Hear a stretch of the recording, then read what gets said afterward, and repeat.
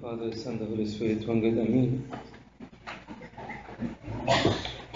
Today, is the second second Sunday of the blessed month of Hatour, and as we heard the Gospel today from the book of Matthew, and only the same the same Gospel was mentioned last week, which is going to be from the book book from the book of Luke. before I start, before I start, if anybody feel like not be silent, please stay in the in the kitchen with the kids. But I don't need any moving during the service. I don't need talking. I don't need anything. Be quiet to listen.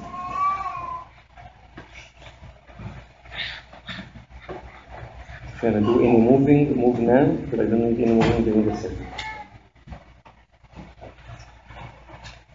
And Alice, please make sure and if the TV is on and the clear the sound is on. Please. And keep it there, please.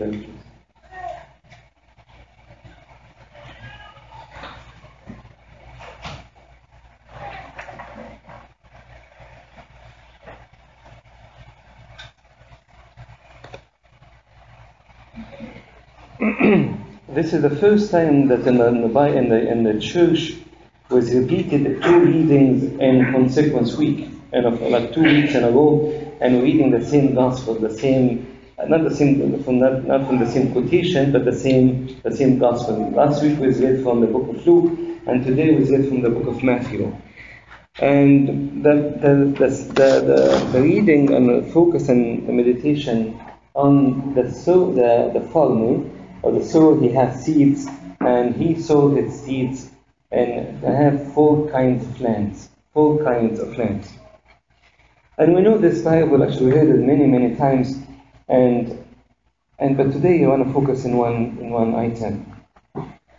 The four kinds of land, number one is called the, wayside land. Wayside land. And as I mentioned before, with all the lands, with only one land. God, when created the land, He created the whole land is to give fruits.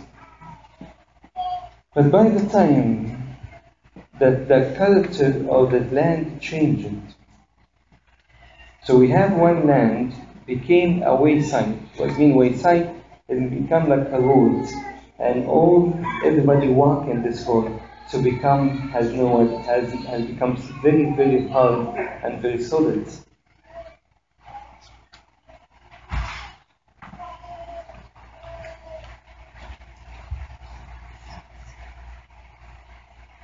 And the second land, what happened with this wayside land? That the soil, when he threw the seeds, there's no there's no dust, there's no land, there's no soil there. So that the birds came and what devoured the seeds and away and has nothing. There is no fruit after this. The second land, which is has the land is called a lucky land or stony land, that has in top very very little layer of soil. And when they threw the seeds, they sprang up and had some some plants there. But when the sun comes the second day, it has no roots, this is this plant will get withered. And the end of the story has no fruits. The third land is called the thorn land. The land has has thorn in it. And yes, the soil, the the seeds and plant and coming up to give some fruits. But the thorn of life choked this plant and give no fruit, and give no fruit. And finally, the good land, which is the land that God created from the beginning and kept the good soil there. Once they they have the fruit, they have the seeds, is have groups there and have plants and give 160 and 30 folds of the plants, the fruits. And the end last, the Lord told the disciple and told the people who hear him, pay this, pay, put this in mind. He who has ears to hear, let him hear. He who has ears to hear, let him hear. And the question is, God, when He created the ears, what the purpose, what the function of this ears? Has any purpose, has any function other than hearing? Or what? The Lord's question is different. It's kind of have uh, an, an, an, a tricky here. He said, He who has ears to heal, let him hear. And we heard this, this message of this verse many times in, especially in the book of Revelation, almost like 10 times in the book of Revelation. When we have, if a baby born with, he's a deaf, he will develop mental retardation. If a baby born and he's deaf, he will have high risk of mental retardation, plus he will never speak. He will never speak. Why? Because of the, the, the, the ears, this is kind of receiving the, receiving the sounds and make alert in his brain cells, and then he'll be able to talk. But if he is deaf, for sure he will not speak because he had heard, haven't heard any sound there. The difference between the eyes and the ears, which one is more important? The eyes can see only in the daytime, or if you have light outside. But the ears, they work in 24 7. In night, if there's no light, you can hear. If in the daytime, you can hear. If at night you hear something like light sleeper, if someone is walking behind him and around him, he will, he will wake up. The ears is all the time is what? It's functioning 24 7.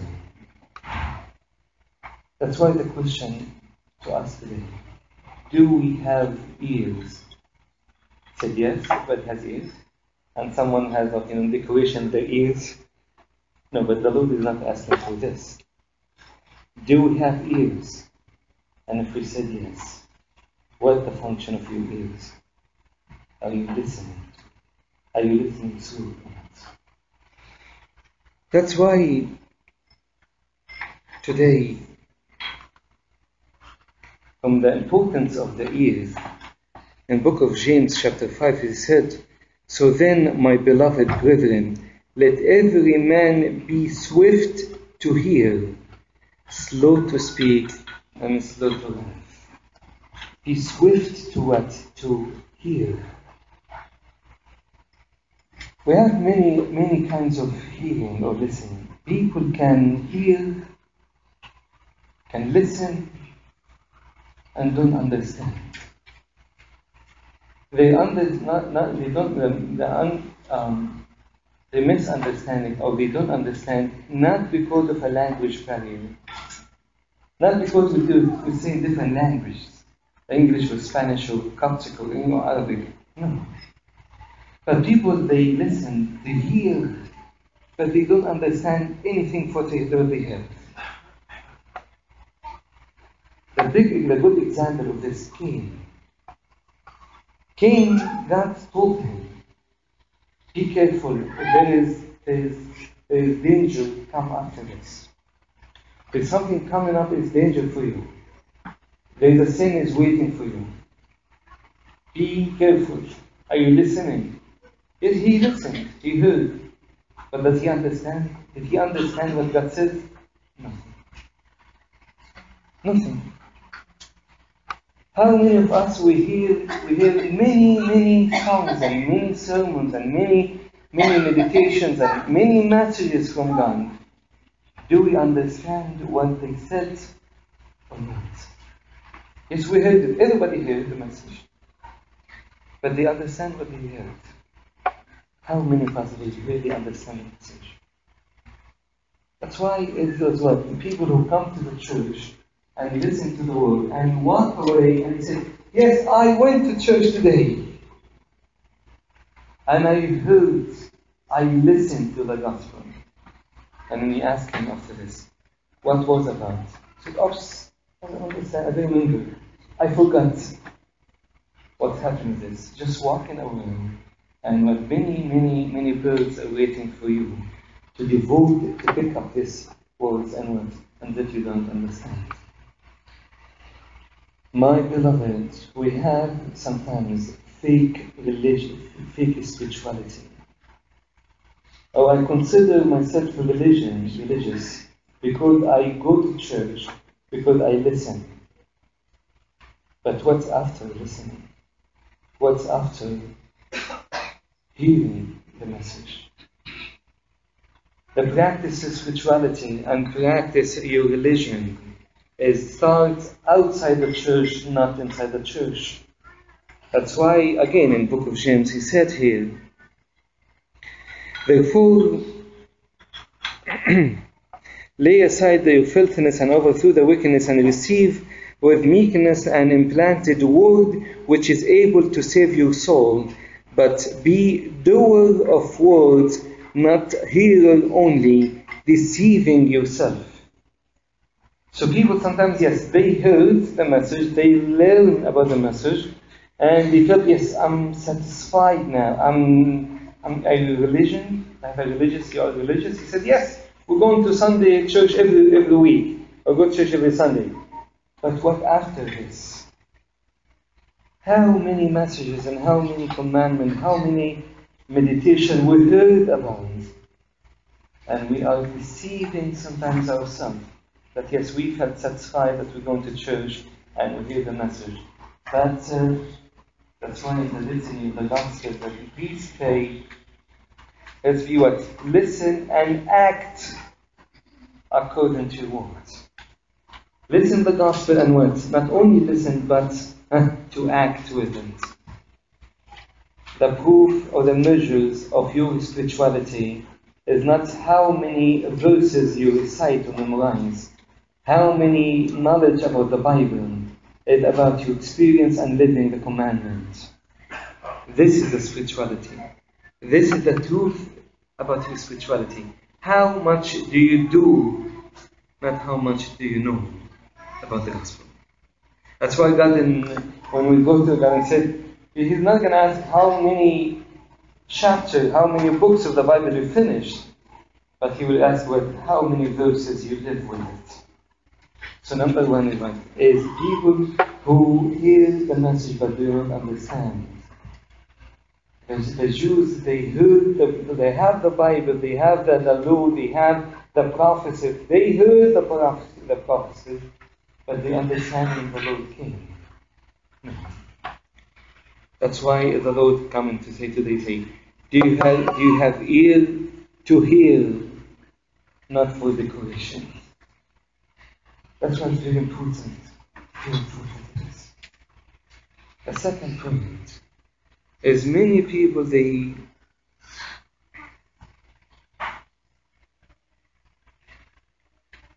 don't miss the message that you heard.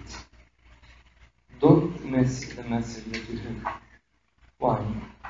Because this message is very is very important for your salvation in life. That's why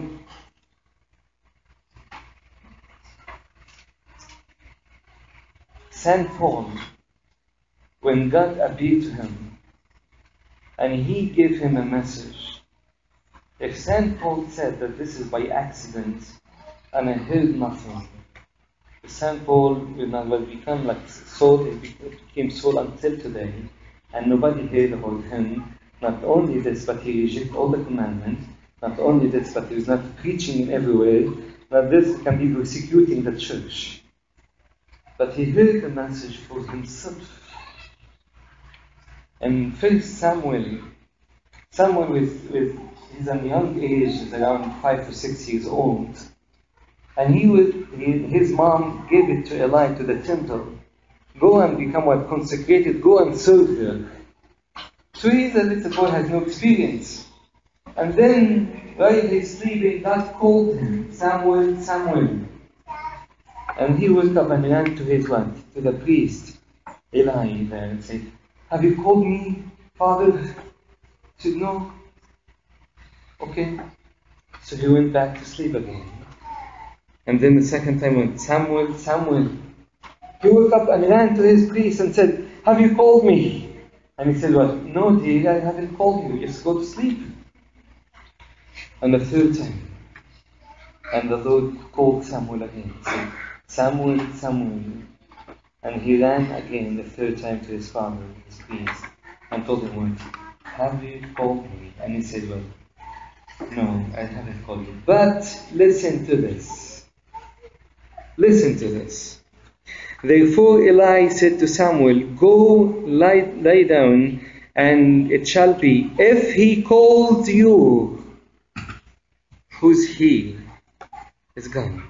If he calls you, that you must say, Speak, Lord, for your servant hears. Speak, Lord, your servant hears. So Samuel went and lay down in his place. Now the Lord came and stood and called as at the other time, Samuel, Samuel. And Samuel answered and said, Speak, for your servant hears. How many of us have this message today? That the Lord speaks to us. He doesn't speak to the one he's beside me. He's not speaking about someone in my mind, he's doing so and so and so. No. God is talking to you personally. The message is for you today. That's why he said, Today, if you hear his voice, do not harden your heart as in a repetition. If you hear his voice, don't harden your heart. That's why why we come to church today, why we make it silent in the church, why we need them, the speaker and the deacons who, who talk and speaks in the Mandalaya here and have to raise his voice and deliver the message with clear. Why? Because we are here to hear the message from the Lord himself. We're not here coming here because this is uh, something and it's used to come on Sunday to church. No, we come here to hear the message of God. And today, please ask yourself, what is the message that God delivered to me today? I want to go home with a message. And I heard it not from Abuna, not from anyone. God is calling me just move Samuel, Samuel, and put your name there. Put your name there. God is calling you. Please don't miss the message. Don't miss the message. St. Anthony, when he heard the message, he listened to it. And he got his message. And what he went up and sold everything and went and followed him. If St. Anthony, how many were in the church in that day? Hundreds. Why he himself got the message and he did it. But he felt it as a clear message to him and he started the monasticism. That's why God is preparing for a great rule in your life. A big message to your life. But what, what He needs from you, that He put His ear there to listen. To listen to it and to hear. And keep the commandment in your heart. So it comes the day what to do with it and clearly, it to you. What do you want to hear today? God is calling all the time to repent. God is calling all the time to live life of holiness. God is calling all the time to love one another. God is calling all the time to forgive one another. This is God was calling. What's your reaction to His message? That's why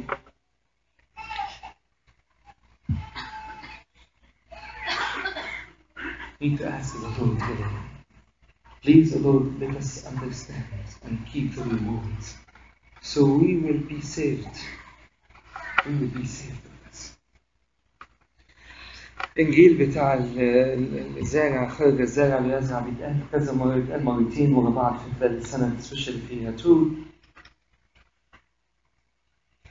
لكن الآية المهمة خالص بتاعت من له أذنان للسمع فليسمع. من له أذنان للسمع فليسمع. كلنا لنا ودان ربنا عمل لنا ليه ودان. هل في وظيفة تانية غير إن إحنا نسمع؟ الودن ملهاش أي وظيفة غير إن إحنا إيه نسمع. عشان كده اللي بيتكلم كتير واللي بيسمع قليل بيبقى غير ناضج. يا إما تيوه اللي بيسمع اللي بيسمع قليل ويتكلم كتير بيتكلم بلا فهم مش كده الإنجيل يقول لنا يكونوا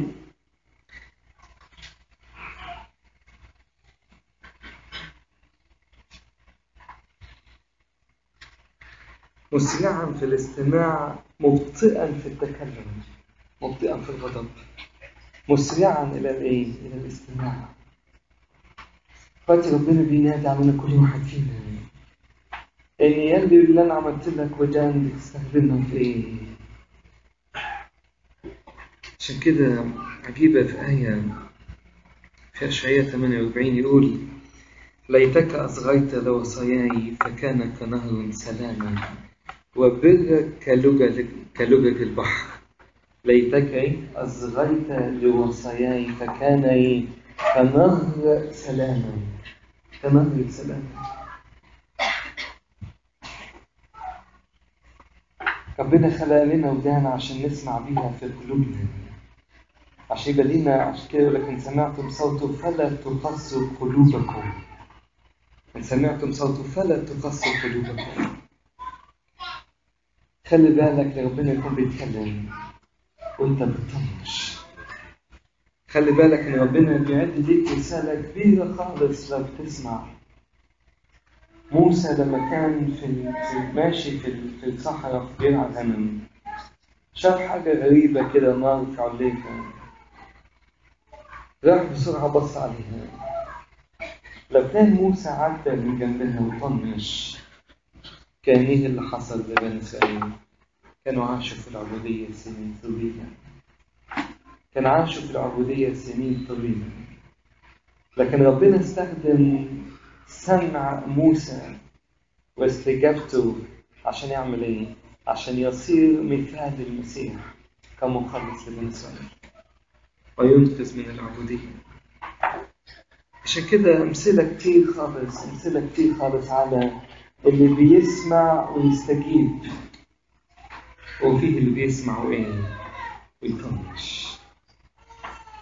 يوحنا الحبيب كان صدره كان دايما ودنه فين؟ على حب المسيح. على صدر المسيح. عشان كده اختبر قوي ما يعرفش يوحنا ما بيتكلمش غير على حاجة غير المحبه يوحنا الحبيب كان لما وصل سن 100 سنة كان يشيلوه بس على المحفه كده على على السرير كده بتاعه عشان مش قادر يتكلم مش تعبان. يروح وسط الكنيسة يقول لهم إيه؟ الله محبة ويمشي تاني. الله محبة ويمشي تاني. عشان كده كان هو دي البداية ودي الرسالة اللي كان بيسمعها. عشان اختبر حب ربنا كويس قوي بالعكس خالص يهوذا. يهوذا سمع الكلام. سمع الكلام. ده مش بس سمع ده هو فهمنا شخصا. الذي يغمس معي في الصحفة يعمل إيه؟ هو الذي يسلمني. قام بسرعة راح يكمل يعمل اللي بيعمله. يا يهوذا أنت مش سامع؟ أنت خدت بالك بتعمل إيه؟ أنت بتخون. ده في خيانة. صوت سامع صوت ربنا بيقول لك إيه؟ إن سمعتم صوته فلا تقسوا قلوبكم. هو ده الصوت اللي بينادي فيه ربنا. كام واحد هيقول لي زي صمويل تكلم يا رب لأن عبدك إيه؟ عبدك سامع. تكلم يا رب لأن عبدك سامع. عشان كده إخواتي لا نفقد فرصة إن ربنا بيتكلم. الله يا الله الآن. يأمر جميع الناس في كل مكان. أن يتوبوا متغاضيا عن أزمنة الجهل. هو ده ربنا بيطلب بيه هو ده اللي صوت ربنا دايما. الله كده صوت كده في القداس. نحضر القداس عشان نسمع ابونا يقول عن على القدسات القدسات القديسين. يعطى لغفران الخطايا حياة أبدية لمن يتناول منه. ده كل دي كل ده إيه؟ كل دي دعوة كل ده صوت كل دي رسائل ربنا بيبعتها كم واحد فينا يقول تكلم ونقول أنا عبدك سامع كم واحد فينا النهارده يطلب كده في طلبة كده يقول يا رب اتكلم. أنت عارف احتياجاتي كتير عارف مشاغلي أو أو مشاعري أو متاعبي أو ضعفاتي أو خطايا؟ عارف كل حاجة فيا. تكلم يا رب لأن إيه؟ لأن عبدك سامع تكلم يا رب لأن عبدك سامع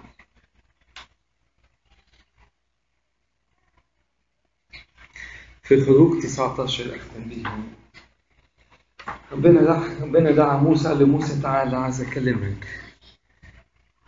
ولما موسى فصعد الله فناداه الرب من الجبل قائلا هكذا تقول لبيت يعقوب وتخبر بني إسرائيل أنتم رأيتم ما صنعت بالمصريين وأنا حملتكم على أجنحة النسور وجئت بكم إلي.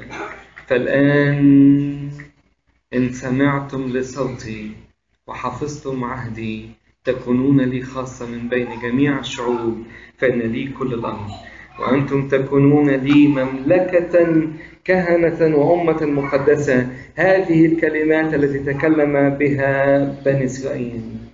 عدد سبعة يقول كده فجاء موسى ودعا شيوخ شعب بني إسرائيل. والشعب ووضع أقدامهم وضع قدامهم كل هذه الكلمات التي أوصى بها الرب. فأجاب جميع الشعب معا وقالوا كل ما تكلم به الرب نفعل. كل ما تكلم به الرب إيه؟ نفعل. قولوا معايا. كل ما تكلم به الرب نفعل. قلت أنا عشان نسمعها لبعض. كل ما تكلم به الرب نفعل. عشان كده كل مرة بنعلن كل مرة بنيجي الكنيسة كل مرة بنقف قدام ربنا نقول كده كل ما تكلم به الرب نفعل. كل ما تكلم به الرب نفعل. حافظين قد إيه وصايا الله يفضل فيه عشان نعمل إيه نتكلم نفعل نفعل عشان كده كلنا كده واقفين نقف قدام ربنا نقول يا رب النهارده رب نقول إيه؟ تكلم يا رب لنا إيه؟ عبدك سامع؟ مش بس سامع إيه؟ سامع وإيه؟ وفاعل. سامع وفاعل.